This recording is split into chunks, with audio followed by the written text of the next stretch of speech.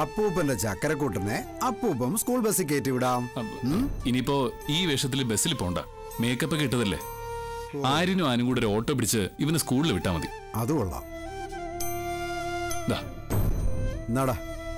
ആ ഇവനെ വിട്ടതിന് ശേഷം നമുക്ക് ആ വഴി സ്കൂളിൽ പോവാം. സ്കൂളിൽ തന്നെ പോണം. നീ വാ ധീരവേ.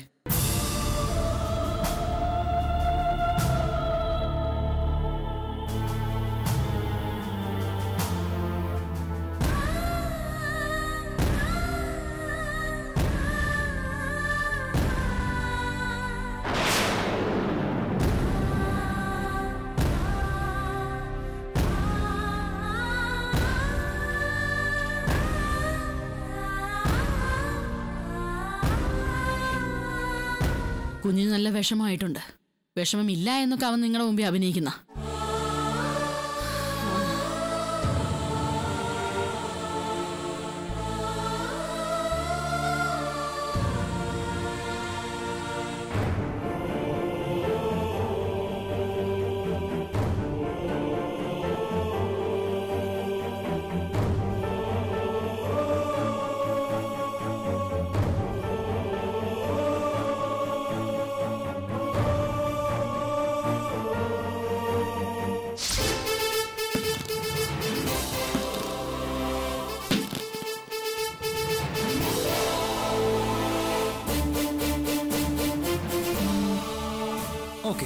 ഡ്രസ് എല്ലാം പെർഫെക്റ്റ്. ഡയലോഗ് എല്ലാം ബൈഹാർട്ട് ആണല്ലോ. ഓക്കെ ആണ് നന്ദേട്ടാ. ഞാൻ കലക്കും. മമ്മിത് ഓക്കെ അല്ലേ? കൊള്ളാലോ. ഈ വേഷത്തിലാണോ പോകുന്നത്? അതെ ഇവിടുന്ന് ഡ്രസ് ചെയ്ത് പോയാ പിന്നെ റിസ്ക് ഇല്ലല്ലോ.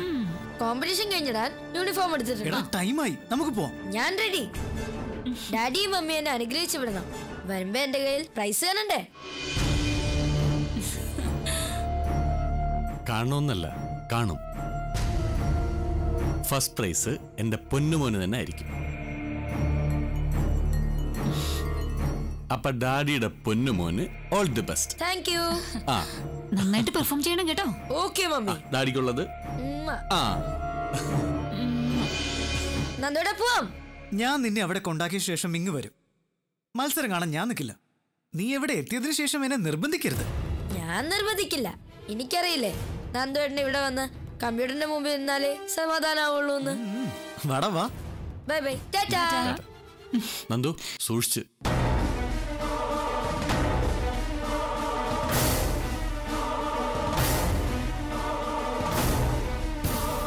നീ കണ്ടോ സന്ധ്യ? ധ്യാൻ പ്രൈസുമായിട്ട് തന്നെ വരും.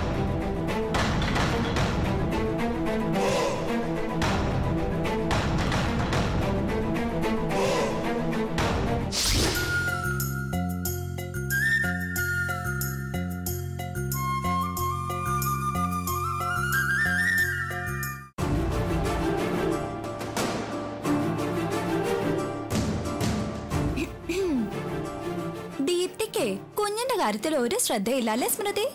അതെ നിങ്ങളെക്കാൾ ശ്രദ്ധയുണ്ട്.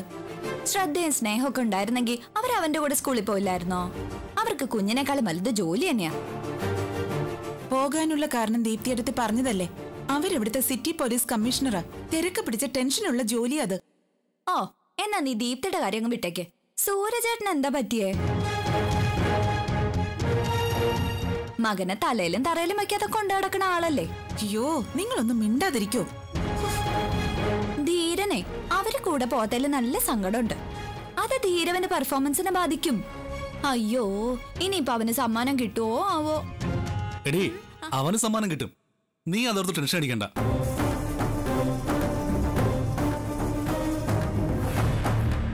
ഏട്ടനെ ഏട്ടത്തെയും കുറ്റം പറയാൻ അവസരം കിട്ടിയപ്പോ അവൾ അധികാരി പിടിച്ചിരിക്കുക അതെ ആദ്യം മീനാക്ഷി എടുത്ത് ഈ സ്വഭാവം മാറ്റണം. ആന ഈ സ്വഭാവം കണ്ട പഠിക്കുന്നത്. ഓ ആയിക്കോട്ടെ. നിന്റെ സുഭാഷനെ കാണാതെ തന്നെ ആ സ്വഭാവം നിന്റെ മോൻ പഠിച്ചിട്ടുണ്ടല്ലോ. അത് മതി. നിങ്ങളോട് ഏറ്റുമുട്ടാൻ ഞാനില്ലേ? ഓ. ഓ ഓ. ഇവിടെ മീനാക്ഷി എന്ത് ചെയ്താലും വലിയ കുറ്റോ? സൂര്യചേട്ടനും ദീപ്തി എന്ത് ചെയ്താലും ഒരു പ്രശ്നവും ഇല്ല. ആ പയ്യന്റെ വിഷമം കണ്ട് ഞാനൊന്ന് പറഞ്ഞു പോയതാണേ. മുമ്പ് ഞാനൊരു കുഞ്ഞിനെ അങ്ങ് മാറ്റി. എന്തൊക്കെയായിരുന്നു പുകിൽ? എല്ലാവരും കൂടെ എന്നെ അങ്ങ് കൊന്നില്ലെന്നേ ഉള്ളൂ. അവർ രണ്ടുപേരും കുഞ്ഞിനെ ദാനം ചെയ്തു. അതാർക്കും ഒരു പ്രശ്നവും ഇല്ല. മീനാക്ഷി നിർത്ത്. അതിനുള്ള കാരണം എല്ലാവർക്കും അറിയാലോ. മറ്റുള്ളവർക്ക് അതിൽ കുറ്റം കാണാം. പക്ഷേ ഞാൻ ഇപ്പോഴും പറയും അത് അവരുടെ വലിയ മനസ്സുകൊണ്ട് ചെയ്തതാണെന്ന്. അതൊരു കുറ്റമായിരുന്നില്ല ഒരു ത്യാഗമായിരുന്നു. അയ്യോ ഞാനൊന്നും പറയുന്നില്ലേ? ഞാൻ ചെയ്തെങ്കിൽ അത് കുറ്റം. അവർ ചെയ്താലോ? അത് വലിയ ത്യാഗം. ഹാ.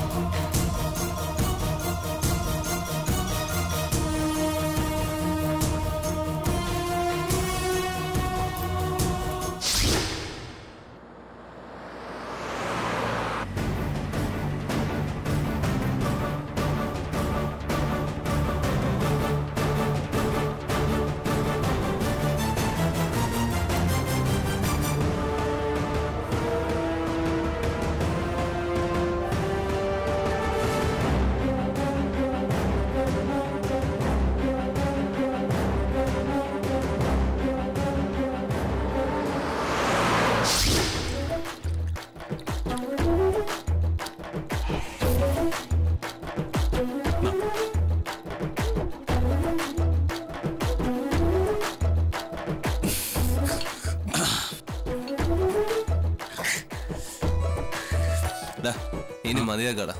നല്ല ഫിറ്റായി. ഇന്നലെ രാത്രി ഇന്ന് രാവിലെ. ദാ ഇപ്പോ മുടിയോട് കൂടി തന്നെ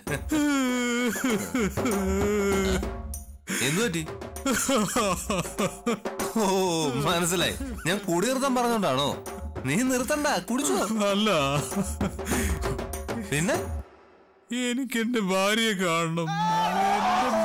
കാണണം. അത് ശരി. മദ്യം തലക്ക് പിടിച്ചപ്പോ ഭാര്യയെ കാണുന്നു അല്ലേ? ഇത്രയും അടുത്ത് വന്നിട്ട് അവളെ കാണാതിരിക്കുന്നത് മോശമല്ലേ? മനസ്സിലായി. അവളെ ഒന്ന് കാണണം. പിന്നെ അവളുടെ കുടുംബത്തിന്റെ ഇപ്പോഴത്തെ അവസ്ഥ ഒന്ന് മനസ്സിലാക്കണം. നീയും കൂടെ വാ. നേരിട്ട് കാണുമ്പോ മനസ്സിലാവും അവളുടെ തനി സ്വരൂപം. നിന്നെ കണ്ട അവർ വിടുവോ? നിന്നെ പാപ്പരാക്കിട്ടല്ലേ വിടൂ? ആ. ഉം. ഓരെങ്കിൽ നിന്റെ കൂടെ വരുമെന്ന് മീര ഭീഷണിപ്പെടുത്തിയിരിക്കുകയല്ലേ? എടാ നമ്മൾ അതിന് ഈ രൂപത്തിലല്ലല്ലോ പോകുന്നത്. വേഷം മാറി. നീ എന്റെ അടുത്ത സുഹൃത്ത് ഗൾഫിൽ നിന്ന് വന്ന ഫൈസൽ. ഞാൻ തന്നുവിട്ട ഫോറിൻ സാധനങ്ങൾ അവിടെ കൊടുക്കാനെന്ന രീതിയിൽ പോകുന്നു. കൂടെ നിന്റെ ഭാര്യ സഫിയായി വേഷം മാറി ഞാനും വരും. അതും പറതിയിട്ട്. കണ്ണു മാത്രമേ കാണൂ. എന്നെ മനസ്സിലാവില്ല. ഐഡിയ ഉള്ള. മീരയും കാണാം കുറച്ച് സാധനങ്ങളും കൊടുക്കാം. പിന്നെ അവരുടെ എല്ലാവരുടെയും ഉള്ളിലിരിപ്പം മനസ്സിലാക്കാം. അവസ്ഥ മനസ്സിലാക്കാം. നമ്മൾ പോകുന്നു ഉടൻ തിരിച്ചു വരുന്നു. എന്താ? പോകാം. പക്ഷെ ഇപ്പൊ വേണ്ട. ഫിറ്റൊക്കെ മാറിയിട്ട് ഞാൻ വരുന്ന കാര്യം വിളിച്ചു പറയാം. വേഷം മാറി നമ്മൾ നാളെ പോകുന്നു. എനിക്കിപ്പൊ പോണം. ഇപ്പൊ പോയ കൊളാവും. നമുക്ക് നാളെ പോവാന്ന്. എനിക്കിപ്പൊ പോണം. നീ വാ. ഒരു മിനിറ്റ്.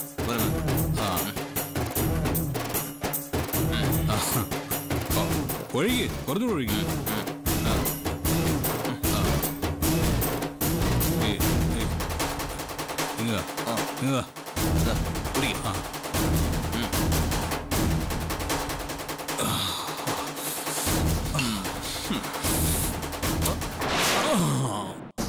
ഹോ, സമാധാനായി ഈ പറഞ്ഞൊക്കെ നാളെ ഓർമ്മ കാണുമാവൂ എനിക്കിപ്പോ പോണം എനിക്ക് എന്റെ വീട്ടിൽ പോകണം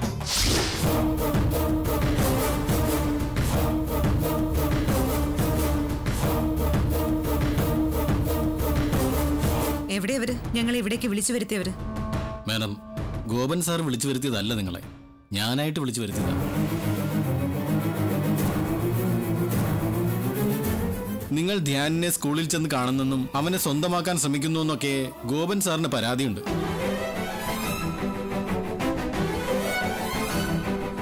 നിങ്ങൾക്കെതിരെ കേസ് കൊടുക്കാൻ തുനിഞ്ഞു ഗോപൻ സർ. ഞാൻ ഇടപെട്ട് വിലക്കി. എന്തിനാ ഏട്ടനും അനിയത്തിയും കോടതിയിൽ കയറി ഏറ്റുമുട്ടുന്നത്? ഈ വിഷയം ഇവിടെ പറഞ്ഞു തീർക്കണം. അതിനാ നിങ്ങളെ രണ്ടുപേരും വിളിച്ചു വരുത്തിയത്. ഗോപൻ സാറും സന്ധ്യാമയുടെ ഉടൻ ഇവിടെ എത്തും. അവനെ ഞങ്ങൾ സ്വന്തമാക്കാൻ ശ്രമിക്കുന്നു എന്നതാണോ അദ്ദേഹത്തിന്റെ ആക്ഷേപം? സാറേ അവൻ ഞങ്ങളുടെ സ്വന്തം തന്നെയല്ലേ? ഞങ്ങൾ അവരുമായിട്ട് സംസാരിച്ചതാ. ഒക്കെ സാറിന് അറിയാവുന്നതല്ലേ? സർ ആരൊക്കെ വിലക്കിയാലും ഞങ്ങൾക്ക് ഞങ്ങളുടെ കുഞ്ഞിനെ കാണാതിരിക്കാൻ പറ്റുമോ? അവൻ ഞങ്ങളുടെ സ്വന്തമാ. ഞങ്ങളുടെ മകനാ അവൻ. ഞങ്ങളുടെ കൂടെ വളരേണ്ടവൻ. മകനായിരുന്നു എന്ന് പറ സൂരജ്. ഇപ്പൊ അല്ല.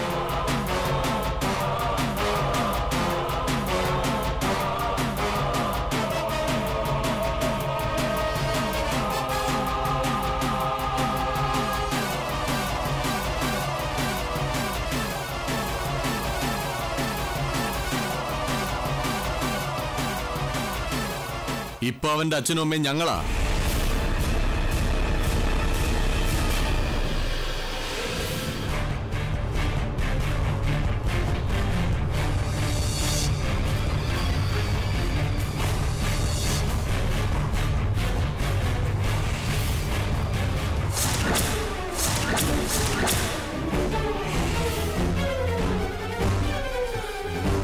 ഞങ്ങൾക്ക് പറയാനുള്ളത് ഞങ്ങൾ നിങ്ങളടുത്ത് പറഞ്ഞു കഴിഞ്ഞതാണ്. പക്ഷെ നിങ്ങളത് ചെവിക്കൊണ്ടില്ല. വീണ്ടും ഇവിടെ വെച്ച് കാണേണ്ടി വന്നു സംസാരിക്കേണ്ടി വന്നു അതുകൊണ്ടാണ്. നിങ്ങൾ ഞങ്ങളുടെ മകനെ കാണാൻ സ്കൂളിൽ ചെന്നു. കാണരുതെന്ന് ഞാൻ പറഞ്ഞല്ലേ നിങ്ങളത് അനുസരിച്ചില്ല അനുസരിക്കാൻ കഴിയില്ല ഞങ്ങൾക്ക്. കാരണം അവൻ ഞങ്ങളുടെ ചോരയാ.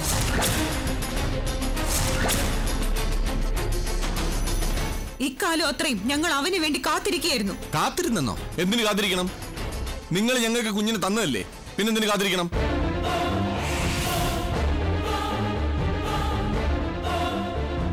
വക്കീൽ സാർ എനിക്ക് സൂരജിനെയും ദീപ്തി ഇപ്പൊ വിശ്വാസമില്ല.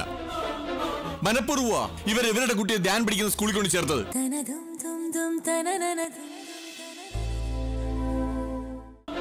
മനഃപൂർവ ഇവർ ഇവരുടെ കുട്ടിയെ ധ്യാൻ പിടിക്കുന്ന സ്കൂളിൽ കൊണ്ട് ചേർത്തത്.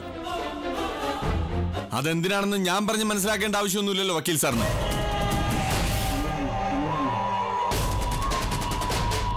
സാർ അത് സത്യമല്ല. അന്ന് പ്രിൻസിപ്പൽ സ്കൂളിലേക്ക് വിളിപ്പിച്ചപ്പോഴാ ഞാൻ ഒൻപത് വർഷത്തിന് ശേഷം ധ്യാനെ കാണുന്നത്.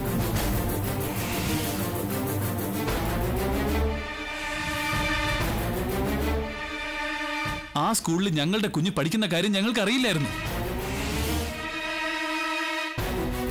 എന്തിന് ഇവർ നാട്ടിൽ വന്നത് പോലും അറിയുന്നത് അന്നായിരുന്നു. ഇതൊക്കെ പച്ച കള്ളമാണ്. കള്ളവും ചതിയും നിങ്ങൾക്ക് ചേർന്നതാ. അതൊക്കെ കാണിച്ചത് നിങ്ങളാ.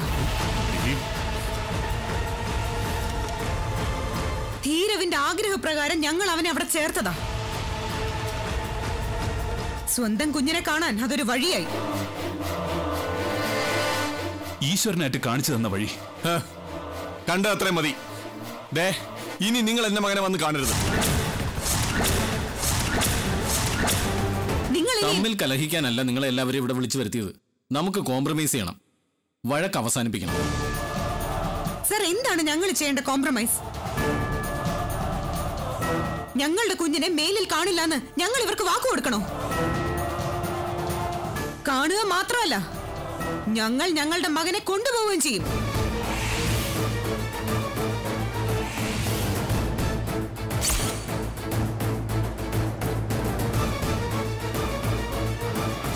ഞങ്ങളുടെ മകൻ ഞങ്ങളുടെ മകൻ. എന്ത് അവകാശത്തിലാണ് നിങ്ങൾ ഇതൊക്കെ പറയുന്നത്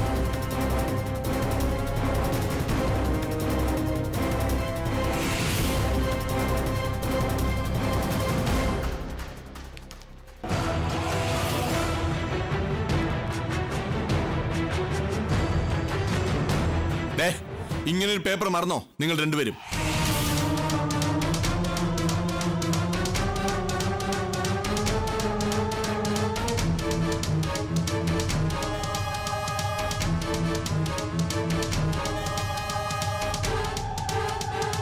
ലീഗലി നിങ്ങൾ ഞങ്ങൾക്ക് കുഞ്ഞിനെ തന്നതിന്റെ തെളിവായത് നമ്മൾ നാലുപേരും ഇതിൽ ഒപ്പിട്ടിട്ടുണ്ട്.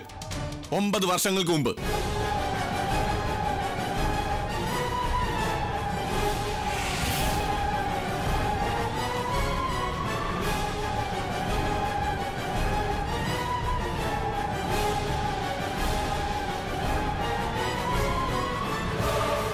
അതൊക്കെ ഓർമ്മയുണ്ടെങ്കിൽ ധ്യാൻ നിങ്ങളുടെ മകനാണെന്ന് നിങ്ങൾ പറയുമായിരുന്നില്ല.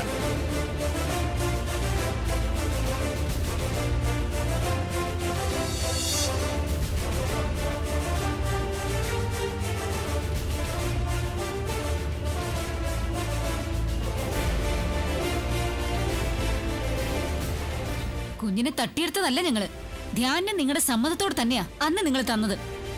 അത് മറന്നാ. ഇന്ന് നിങ്ങൾ അവന്റെ മേലെ അവകാശം പറയാൻ വന്നിരിക്കുന്നത്.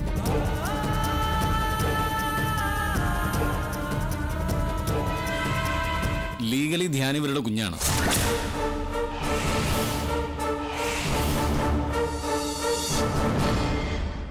ഇവർ നിങ്ങളിൽ നിന്ന് ദത്തെടുത്ത കുഞ്ഞെന്ന് തന്നെ പറയാം.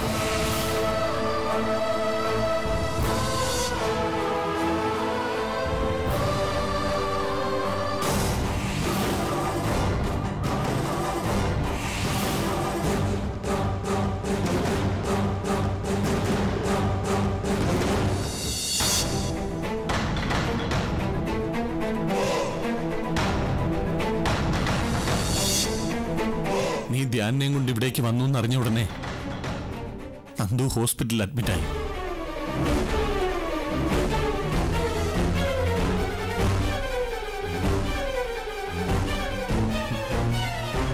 മെന്റൽ ഹോസ്പിറ്റലിൽ.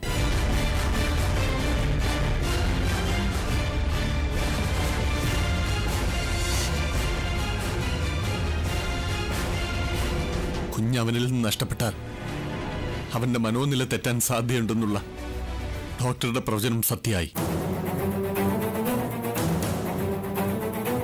ഞങ്ങളുടെ നന്ദുനെ ഞങ്ങൾക്ക് നഷ്ടപ്പെട്ടുകൊണ്ടിരിക്കുക അവനെ തിരിച്ചു കൊണ്ടുവരണമെങ്കിൽ നിങ്ങളുടെ കരുണ ഉണ്ടാവണം.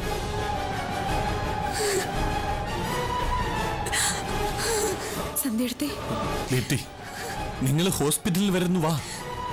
എന്റെ കുഞ്ഞിനെ ഒന്ന് വന്ന് കാണ്. എന്നിട്ട് നിങ്ങൾ എന്ത് വേണേലും തീരുമാനിക്കും.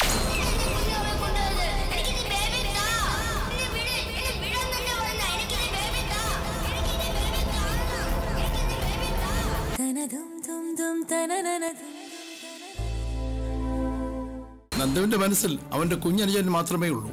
അവന്റെ കൂടെ ആ കുഞ്ഞു വേണം.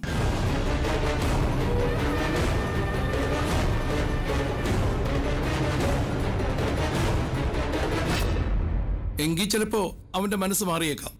അവൻ പഴയ നന്ദുവായി തിരിച്ചു വരും.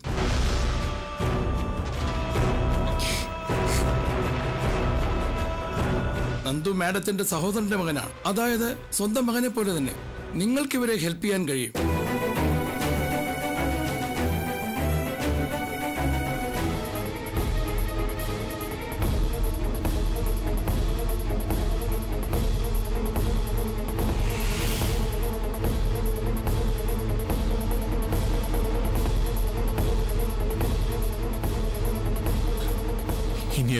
തീരുമാനത്തിന് വിട്ടിരിക്കുന്നു.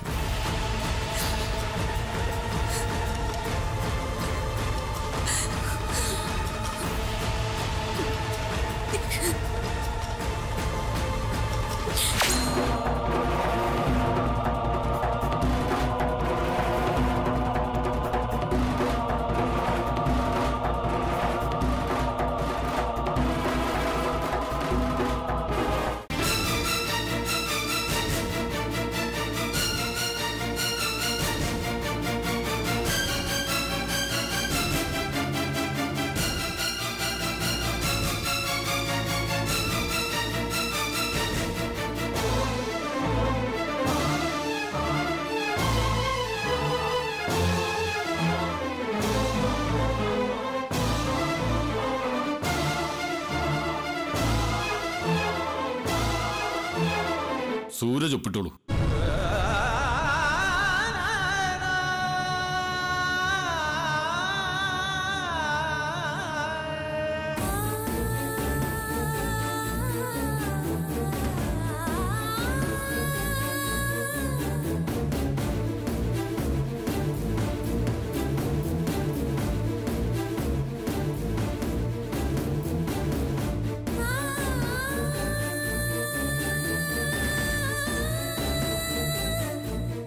സന്ധ്യ ഒപ്പിട്ടോളൂ.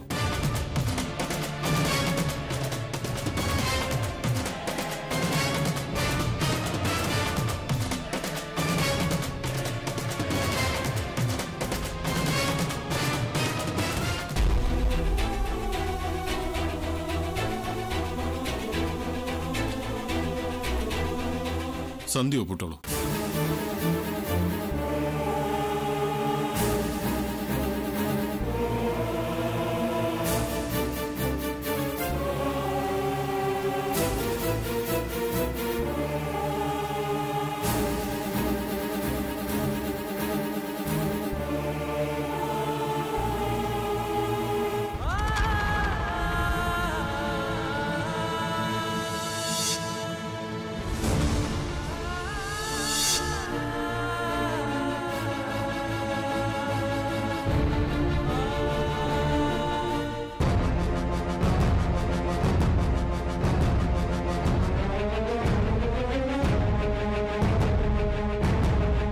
ഞാൻ മറന്നിട്ടില്ല. ഇന്നലെ എന്ന പോലെ എല്ലാം എന്റെ മനസ്സിൽ തന്നെയുണ്ട്. സ്വന്തം ചോര ചതിക്കുമെന്നറിയാതെ ഞങ്ങൾ അന്ന് ആ തെറ്റ് ചെയ്തു. ലീഗലി നിങ്ങൾ അവന്റെ അച്ഛനും അമ്മയുമായി.